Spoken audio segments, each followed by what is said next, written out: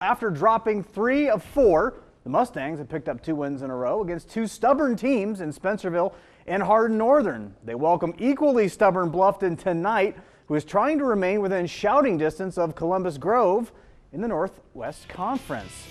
Well, the little Mustangs getting into it. I had to cut between about 143 moms to get that shot. Apologies to all of you. Here's a nice shot to get us started. Logan McClure from the corner, putting in the three points, but were gamers were Bluffton Jared Piercefield driving and scoring.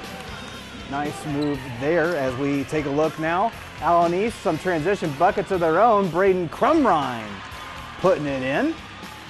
Nice job by him. And now just going to spot up and hit Luke Denneker from downtown. Putting that one in. And this one going back and forth. Levi Hohenbrink from the corner knocks this one down. This will be a close game at halftime. Ends up a close game. 52-51. Allen East coming away with the victory tonight over Bluffton. So Allen East keeping it going. Bluffton now at 500 in the Northwest Conference.